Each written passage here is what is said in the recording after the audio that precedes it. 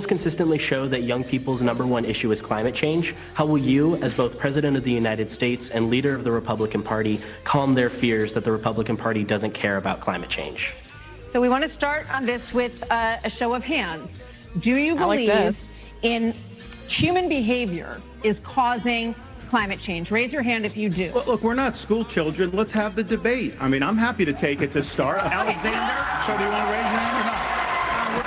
I, I don't think that's the way to do. So let me just say to Alexander this. First I of all, the raising hands. one of the reasons our country's decline is because of the way the corporate media Maybe I did treats say before, I'm Republicans versus idiot. Democrats. All right, forget Biden was on the beach while those people were suffering. He was asked about it. He said no comment. Are you kidding me? As somebody that's handled disasters in Florida, you got to be activated. You've got to be there. You've got to be present. You've got to be helping people Can we who are doing the this. and answer? And here's the deal. Vivek, thank you. Here's Is that a yes? Is that a yes? Is that a hand raise? You do not. I think it was a hand raise for him, and it's um, my hands are in my pockets. No, no, because no, I climate didn't change raise- I agenda didn't a raise a hoax. Let us be honest as Republicans. I'm the Thank only you, person on the stage who isn't bought and paid for, so I can say this. The climate change Oh, whoa, agenda whoa, whoa, whoa. is a That's hoax. just ridiculous. The climate change agenda is a hoax, and we have to declare independence for it. And the reality is, the anti-carbon agenda is the wet blanket on our economy.